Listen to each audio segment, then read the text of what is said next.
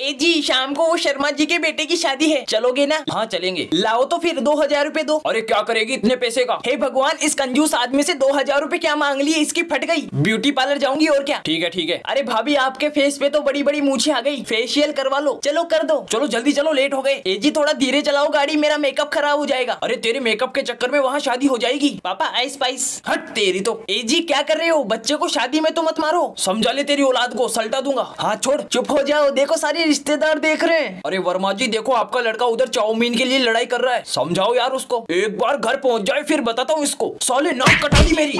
तू चुप रहे और चढ़ा इसको माथे पे चल पढ़ाई कर अंदर जाके अरे सोलो पढ़ाई के नाम पे सो रहा है ओए उठ क्या कर रहा है पापा पढ़ रहा हूँ ऐसे आंखें बंद करके